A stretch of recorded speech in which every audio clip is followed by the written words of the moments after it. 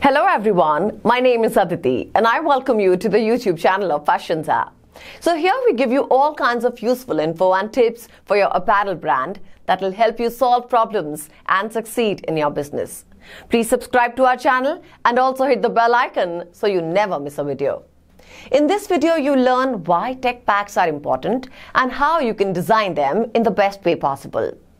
A tech pack is a blueprint or spec sheet to get your design ideas translated into a finished product. And instructional manual containing detailed steps, materials, and information required to bring your apparel ideas to life. Creating and sending your manufacturer the right tech pack with detailed specifications reduces the time spent on the product creation process. It makes it easy for manufacturers to interpret your ideas.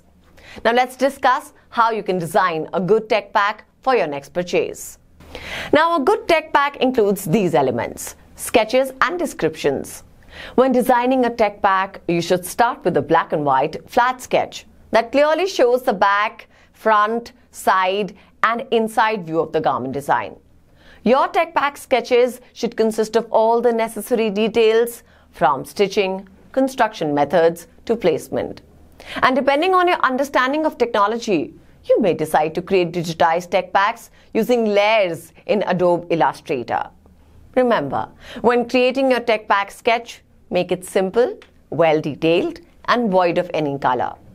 Highlight your mood board and inspiration. Under the style board and inspiration section, you can include images, thoughts, and existing patterns that inspired you to create the original idea.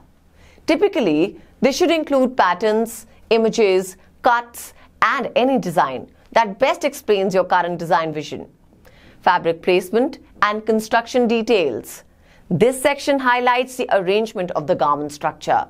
It typically consists of construction drawings with an inclusion of the seam type, width, allowance, and stitches per inch of the operation. Now, when designing your fabric placement, you should employ the use of color keys to mark the pattern or type of fabric to be placed in certain areas. Colorway page.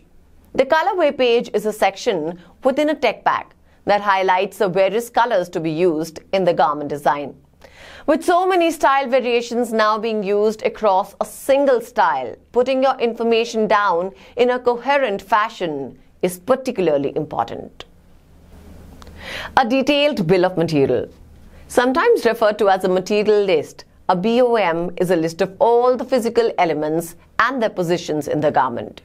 In clearer terms, the bill of material is a page that highlights the entire details regarding the fabrics required for your garment design, including shell, lining, pockets, fasteners, and labels. Typically, the bill of the material page includes five main sections. First is placement. The position specific fabrics are to be added to the garment comments, any additional information regarding the garment design, use of material, and construction information. Materials. Be sure to include the fabric type, weight or thickness, and identification number. One trick is to reference a similar material or fabric design already in the market. However, ensure that both fabrics are of similar quality and texture. Supplier. Include information about the person or company responsible for supplying the fabrics. Color number. With many colors having hundreds of shades, it's important that you thoroughly research the colors needed for your design. An easy trick is including the specific color number of each of the colors included in your colorway page. So if you design your tech pack with these elements, you will have a smooth time working with your manufacturer and you will be able to reduce the product creation timeline to a minimum. So that's the end of this video. I hope you liked it.